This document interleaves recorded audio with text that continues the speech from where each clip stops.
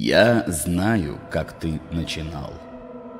Тебя судьбе покорность не удовлетворяла, Страдания переносить устал, А все вокруг тебе твердили, Жизнь трудностей и зла не отменяла, Будь же как все, но ме с послушную толпою Ты потихоньку блеять перестал.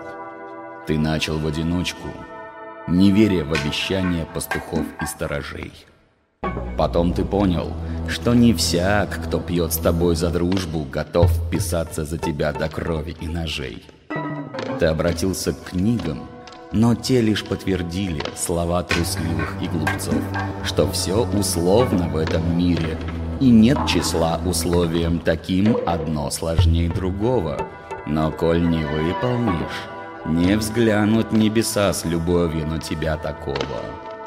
И тысячи купцов явились с тобой поторговаться За душу за нетленную твою.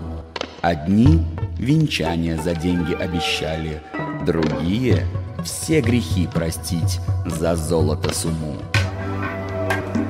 И говорили сладко, что научат, как правильно дышать и как смотреть. И строили тем самым новые загоны, чтобы овцу загнать обратно в клеть. От мистиков тогда ты отвернулся и ринулся в религии искать. Из той, которая в стране твоей ортодоксальна, решил ты аккуратно, да не спеша начать.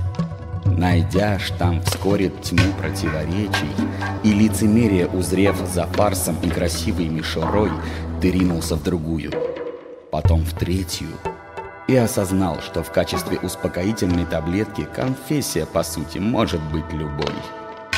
А изгородь из веток, что стадо охраняла, казаться тебе стала решеткой золотой. Потом колючей проволокой она же обернулась, и под конец на избранность твою тебя купить решила с головой. Ты ж, наступив на горло самолюбованию, с последним подлецом себя пред Богом уравняв, увидел, наконец, что изгородь фантомна, и побежал со смехом, направление поняв. И вот тогда, отбросив все писания, ты сам в себе нашел ту дверь, которую искал. Ты вспомнил, кто ты есть, и изгородь разрушил, узнав, что все учения — подсказок ради верных, ты сам себе собой же когда-то написал.